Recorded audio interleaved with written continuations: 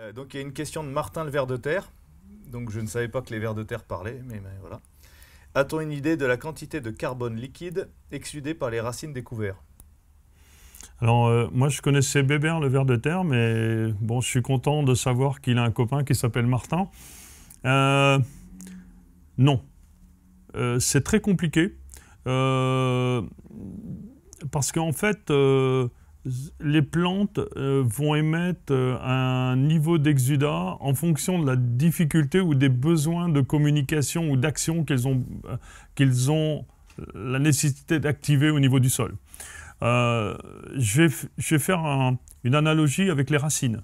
C'est la même chose. On a toujours tendance à regarder au niveau scientifique, on a telle proportion entre aérien et racinaire. C'est complètement faux. Euh, si les plantes sont sur un milieu qui est très riche, avec de l'humidité, le niveau des racines est très faible. En fait, euh, la plante ne va développer un niveau racinaire que euh, en fonction de, la difficulté ou de la facilité qu'elle a à collecter la, fertilité et l'eau dans le sol. Je suis à peu près certain que ça va fonctionner de la même manière avec les exudats racinaires et à peu près certain euh, que ça fonctionne de la même manière avec, euh, avec les réseaux mycorhiziens.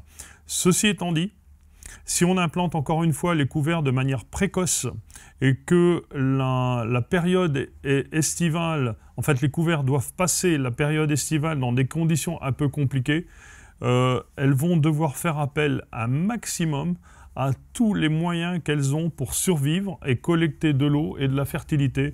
Et donc là, c'est certain que l'on va maximiser les exudats racinaires, c'est certain qu'on va maximiser les mycorhizes et tous les autres processus que l'on ne connaît pas encore dans le système. Donc encore une fois, on sera gagnant d'implanter les couverteaux.